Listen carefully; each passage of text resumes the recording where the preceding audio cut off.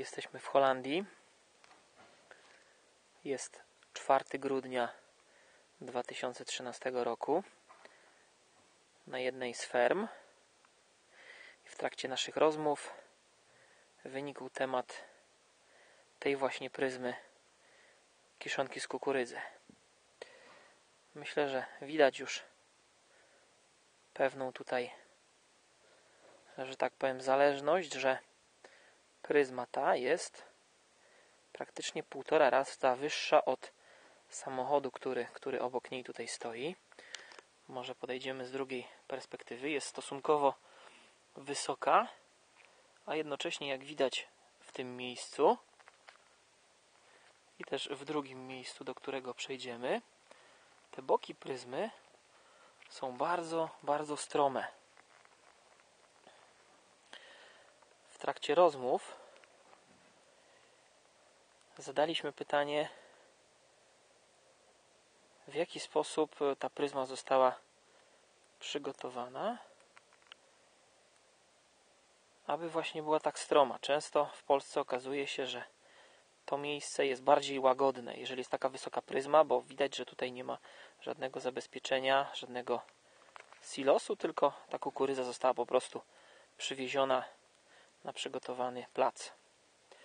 Okazuje się, że ciągniki, które ugniatają tą pryzmę, nie mają problemu oczywiście z wjechaniem na nią, tylko akurat, jeśli mogę tutaj pokazać, nie wjeżdżają z tej strony, tylko wjeżdżają od przodu i jeżdżą do końca.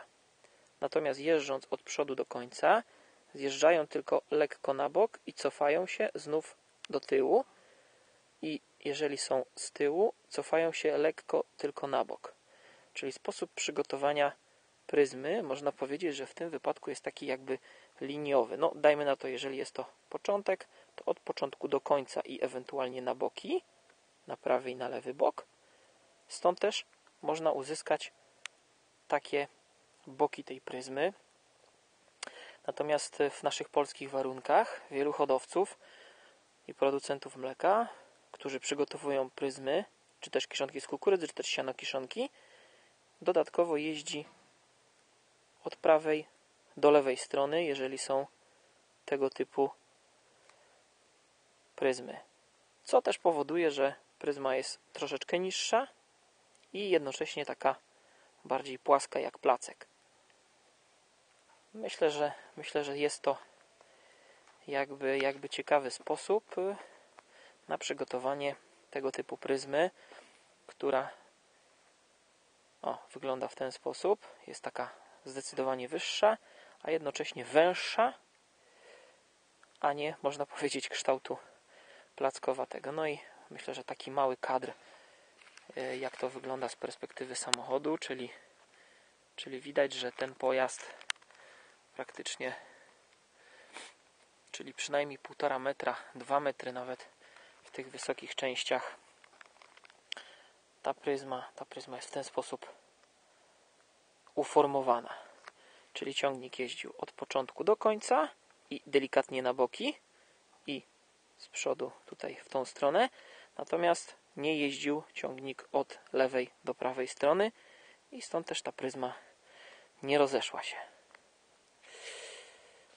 Takie ciekawe pytanie tutaj powstało i uzyskaliśmy przy okazji wizyty odpowiedź na to, na to pytanie.